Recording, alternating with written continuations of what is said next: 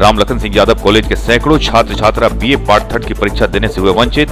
College प्रशासन के द्वारा किसी भी छात्र को नहीं उपलब्ध करवाया गया। परीक्षा प्रवेश पत्र।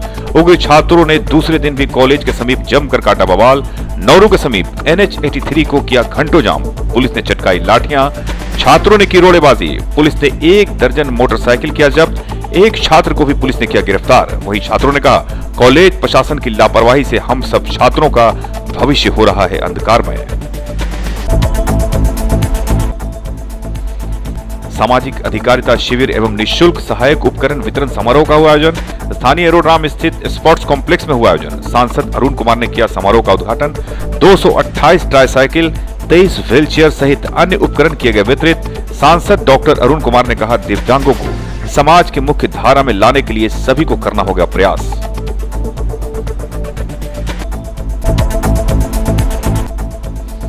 स्वामी सहजानंद सरस्वती संग्रहालय का मनाया गया स्थापना दिवस, जिलाधिकारी आलोक रंजन घोष सहित शहरी एवं ग्रामीण क्षेत्रों से उपस्थित हुए कई गण्यमान डीएम ने कहा, संग्रहालय को विकसित करना जिला प्रशासन के साथ साथ यहाँ के प्रबुद्ध नागरिकों की है जिम्मेवारी।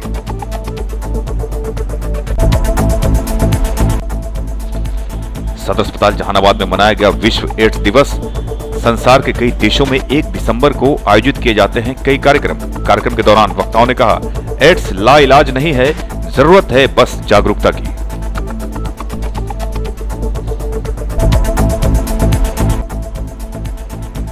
भाजपा कार्यालय में भारतीय जनता युवा मोर्चा की हुई बैठक। निरंजन कुमार बबलू ने की अध्यक्षता। 2019 लोकसभा चुनाव में बड़ी बहुमत के लिए पूरी ताकत झोंकने की कही बात।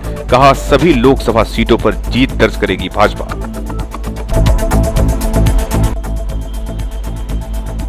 और जहानाबाद के एरोड्राम में संत मैरी एकेडमी द्वारा आयोजित किया गया वार्षिक खेल कूद प्रतियोगिता, दौड़, ऊँची कूद, लंबी कूद सहित अन्य खेलों का हुआ आयोजन।